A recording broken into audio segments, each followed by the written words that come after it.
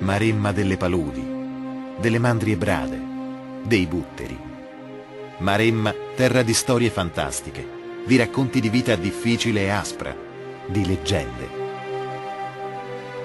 Ancora oggi la Maremma mantiene lo stesso sapore e offre a chi la visita il fascino e l'intensità che emanano dal suo ricco passato. Il viaggiatore che la attraversa rimane letteralmente abbagliato da una natura rigogliosa, da un miscuglio di antiche civiltà, da tradizioni popolari che si perpetuano nel tempo, da sapori antichi legati alla gastronomia e all'enologia. Maremma è ritrovare tutto l'anno atmosfere uniche e un fascino sempre pronto a stupire. Una saggezza culinaria tramandata nei secoli ha saputo mantenere il gusto antico di una cucina senza tempo e lo schietto sapore delle cose genuine.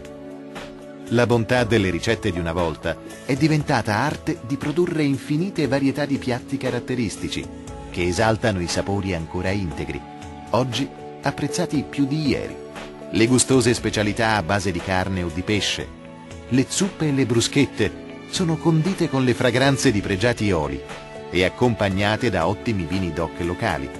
Espressione di tre strade del vino, Colli di Maremma, con l'ormai famoso Morellino di Scansano, Monteregio Massa Marittima e Montecucco. In Maremma vivono anche antiche manifestazioni folcloristiche, segni di una cultura sensibile ai richiami del passato e ben radicata nelle tradizioni locali. Pali marinari e tornei medievali vedono sfidarsi i vari rioni dei paesi coinvolgendo e avvicinando il visitatore al calore, alla saggezza e alla storia di questa gente. Ma quello che sicuramente renderà indelebile il ricordo di un soggiorno in Maremma è l'incontro con i suoi artigiani, uomini e donne che con la loro arte, con il loro lavoro, perpetuano tradizioni millenarie, trasmettendo alle generazioni future cultura e sapienza. E allora come non ricordare i maestri d'ascia di Porto Santo Stefano, progettisti e realizzatori? Costruiscono e restaurano scafi seguendo la tradizione e l'istinto, aiutati da secolari esperienze.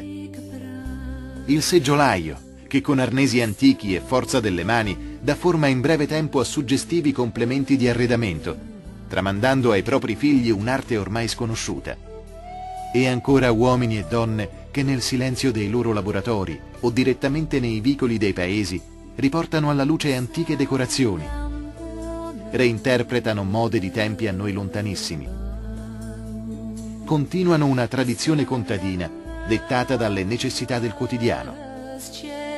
Ci permettono, insomma, con la loro arte, di sentirsi circondati dal calore della storia. E ci piace terminare questo racconto proprio così, lasciandoci cullare dal ritmo abile e sicuro di queste braccia, che si confondono e sfumano nei colori e nelle forme propri di questa terra.